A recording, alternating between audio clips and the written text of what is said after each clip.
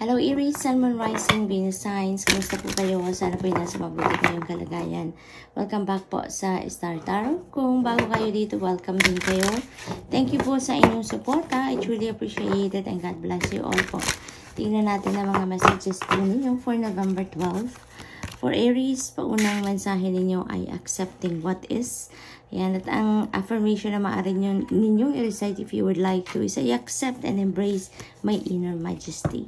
Ayan, so parang sinisa, sinasabi sa inyo dito, Aries, na tanggapin natin no, kung ano yung kung ano yung mga nagaganap, kung ano yung mga nangyayari. No? Instead na hanapan natin ang rason, ng dahilan kung bakit nangyayari or paano nangyari. You know, might as, as well, no? Let's just accept uh, how it is unfolding or what is unfolding. Dahil, di ba, uh, sometimes, may mga surprise ang dumadating. May mga uh, nangyayari na hindi talaga natin alam. Di ba, kung bakit, kung paano, kung... Dahil for sure, meron din naman niyang dahilan. Di ba? So, we have exceeding expectations, Aries ay soar into excellence. So, ngayon, parang meron kayong mga gagawin dito na is going to exceed your own expectation. No? Talagang siguro, uh, dahil sa doble-doble, extra-extra effort na ilalagay ninyo. No? Sa kung ano man ang endeavor ninyo na to, talagang lalampasan pa rin kung ano yung expectation ninyo and even the expectations of the people around you. Talagang sobra kayong magsisipag, magsisikap, gagalingan talaga ninyo dito, Aries, kung ano man to. What else? We have giving birth. Ayan, so napakaganda, no? Um, you are going to give birth to something new, no? To someone. Maaari din ang iba kasi sa inyo dito, manganganak, no? Uh, siguro manganganak na kayo, maaari din naman na um, yung person ninyo, maaaring ganun din ang ganap. And yung ano, yung, yung affirmation na maaari ninyong i-recite dito, I am uh, bringing forth a new and dynamic energy into this world. So talagang ang karamihan sa inyo dito, Aries, you're giving uh, birth to something new. You're giving birth to a new endeavor, no? At a new project, maaaring ganon, new ideas, yung mga ganon, ano? So, talagang dahil siguro dito, kaya kayo magkakaroon ng um, magandang galawan, you're going to be very productive, you're going to be very efficient sa kung ano man ang inyong gagawin to the extent na mai-exceed ninyo yung kung ano man ang ina-expect ninyo for yourself sa sobrang galing ninyo sa ngayon. So, sobrang effort na ginawa ninyo. Talaga magbubunga ng, ng uh, very positive and beautiful outcome, no? Sa kung ano man ang inyong gagawin you are manifesting dreams as well. My dreams are coming true, no? So, parang ano sila, no? Parang lahat ng galing, lahat ng effort ninyo, you know, you're going with the flow with life, talaga magbubunga ng maganda. Kasi you are also manifesting dreams. May mga, uh, siguro kung ano man yung itong mag exceed na expectation ninyo sa mga gagawin ninyo, maaaring yan ay towards manifesting your dreams, Aries, no? So, siguro talagang full force kayo ngayon. Yung effort ninyo, 200%. Kaya naman, yung, yung kung anong pangarap ninyo, no? You are going to uh, manifest that into your 3D reality already.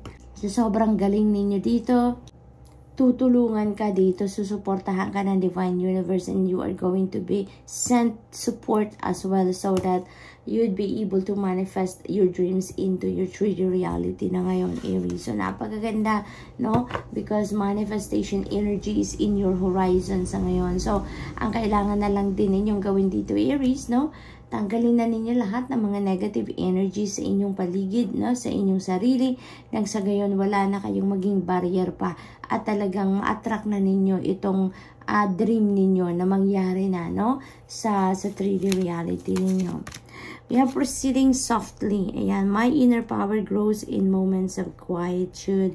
Ayan, so this is ano, this is um, reflection time, introspection time as well, no? So, maybe this is, ano, this is time for pagmuni-muni dahil siguro may mga bagay pa kayo na kailangan gawin, no? Siguro mga finishing touches niyo na lang ito, no?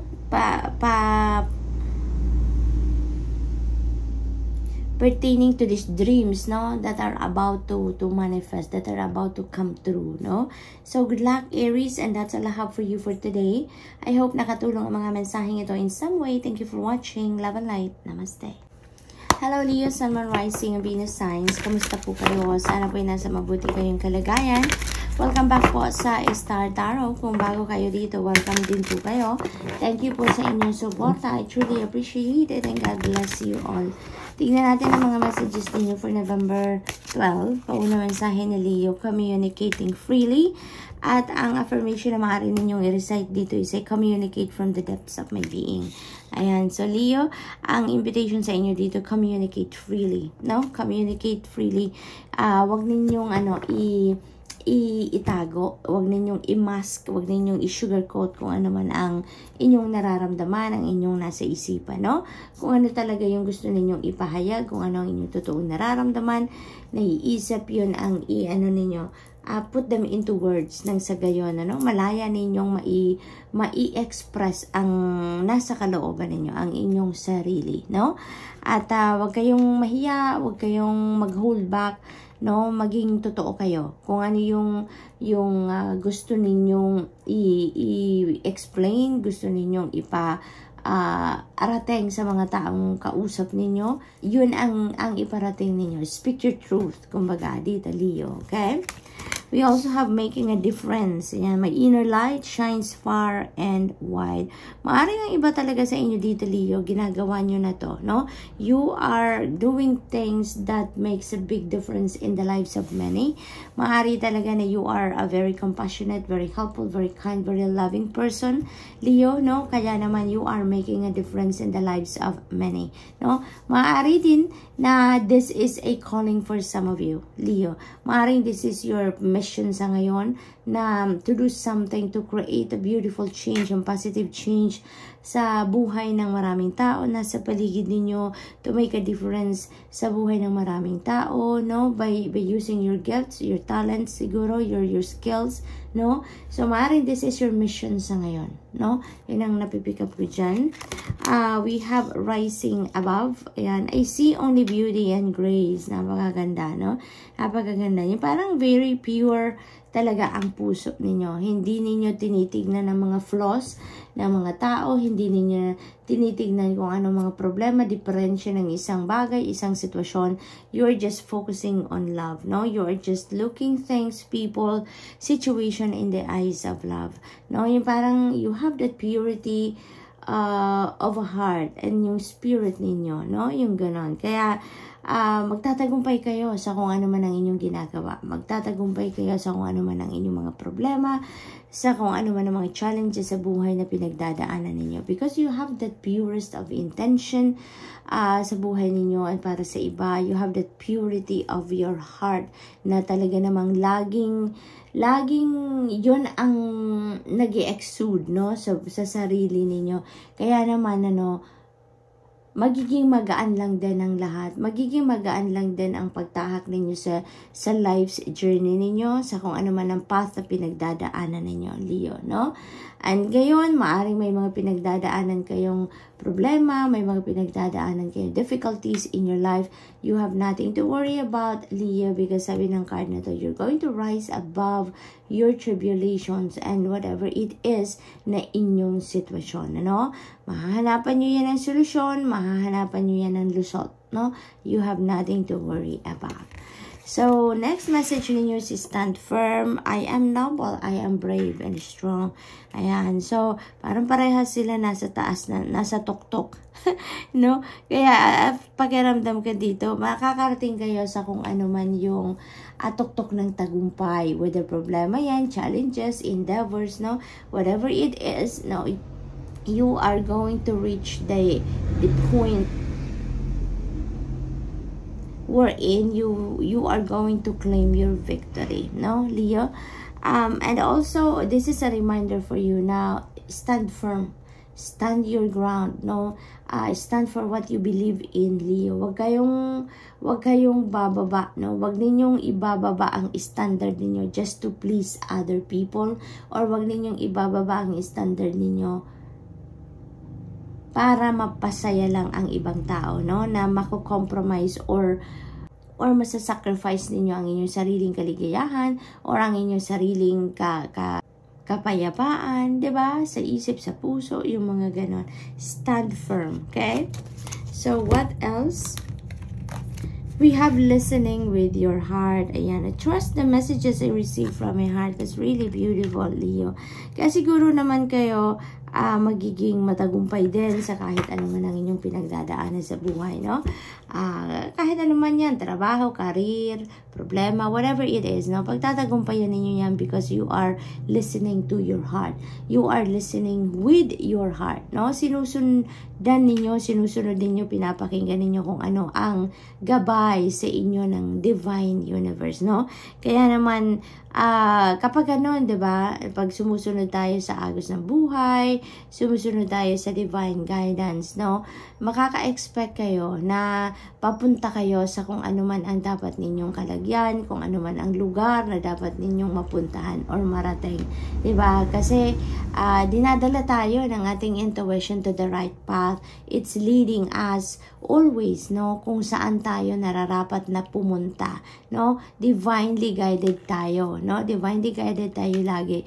And kayo, ngayon, sumusunod kayo, gina, ginagabayan kayo ng Divine Universe through your intuition, pinapakinggan ninyo at sinusunod ninyo. Kaya naman, makakarating kayo, Leo, sa kung saan kayo dapat makarating, no?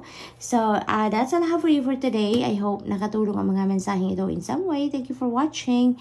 Love and light. Namaste. Hello Sagittarius, Sun, Moon, Rising, and Venus Signs. Kamusta po kayo? Sana po nasa mabuti kayong kalagayan.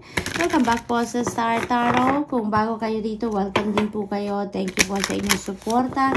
I truly appreciate it and God bless you all. Tingnan po natin ngayon ang mga messages ninyo for November 12. Po na mensahe ni Sag, giving birth. Ayan. So, it's either mag, mag, manganganak ang iba sa inyo dito uh, Sagittarius maybe yung person ninyo or maybe this is a new plan, this is new idea, this is new project, no?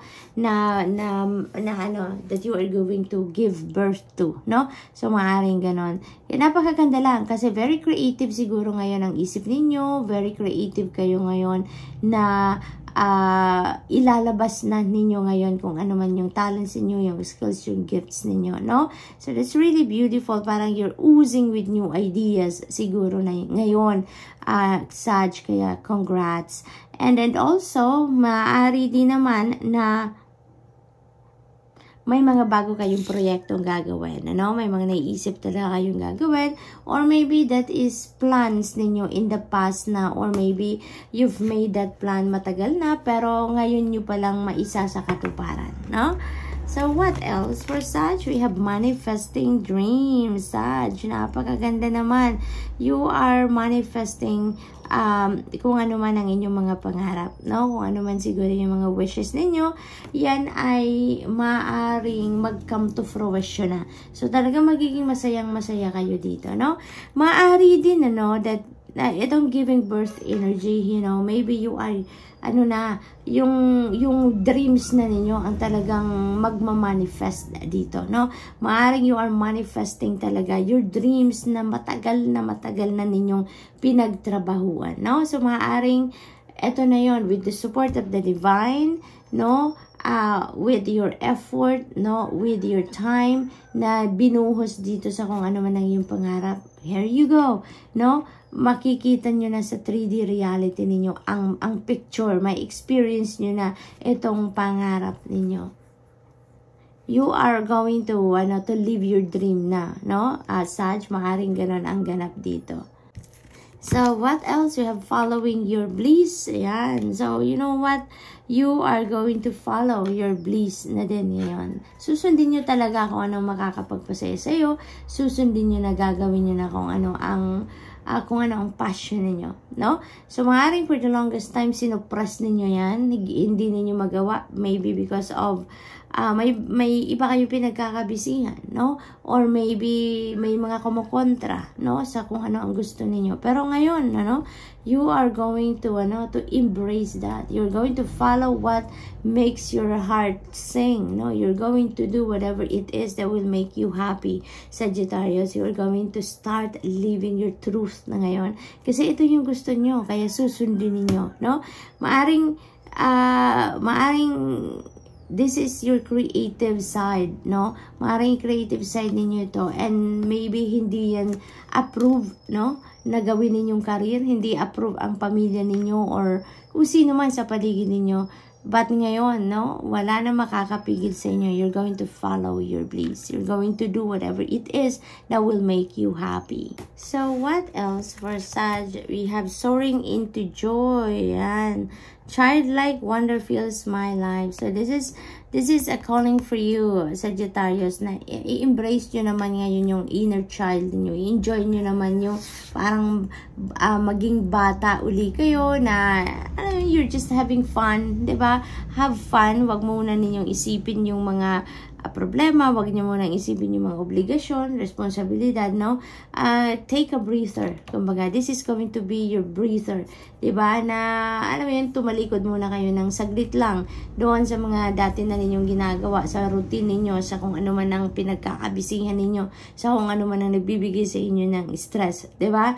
Um, turn your back from that just for few hours, for few moments, no? At i-enjoy ninyo ang life, no? I-enjoy ninyo yung child, ano ninyo, childlike experience. Kumbaga, have fun, no? Magsaya kayo, have fun. Uh, as long as it is safe activity, go for it, no? Wala naman sa edad, 'di ba, ang paglalaro.